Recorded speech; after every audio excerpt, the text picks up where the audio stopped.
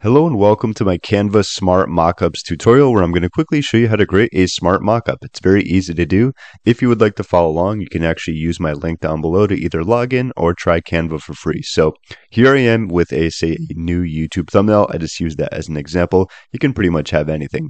So what we want to do first is simply click on the apps little icon right there. And once we are here, go to search Canva apps. Let's type in mockups and it's going to drop down. Let's click on that. And from there, we can click on mockups. So as you're going to see, we have plenty here. There's going to be some popular ones, smartphones, computers, tablets, watches, and so on and so forth. This is just an example of how you can do it. So I'm going to pick anyone. Let's go with one of the tablets here. And what's going to happen is that it's going to insert into your actual design here and it says insert your image, drag and drop any image into the mockup. The easiest way to do this is use from the uploads tab. So let's say we already have an image here we want to utilize.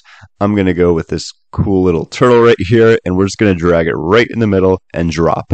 So give it a few seconds to load and what's going to happen, it's going to show up right there. It's going to be the widescreen version, but what we can do is make this a little bit bigger just so you can see it and then move it like you know center it so something like that.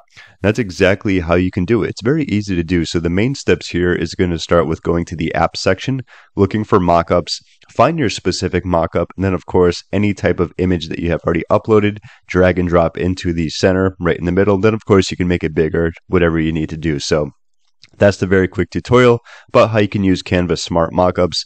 I'll probably do a few other smaller, shorter videos, just like, you know, quick ones like this, in case you want to see how to like put specific images, maybe on a t-shirt or other types of like tablets or iPhones, whatever it may be.